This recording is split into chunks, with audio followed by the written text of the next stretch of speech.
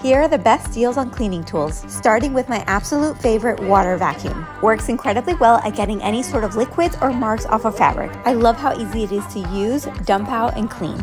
The Bissell Crosswave is one of my favorite multi-use cleaning tools. It is a wet-dry vacuum, meaning it will clean up all the spills and all the dry stuff. Plus, it works on hard floor and area rugs. That's right, wet-dry vacuums on area rugs too. It has a built-in self-cleaning system that I am obsessed with.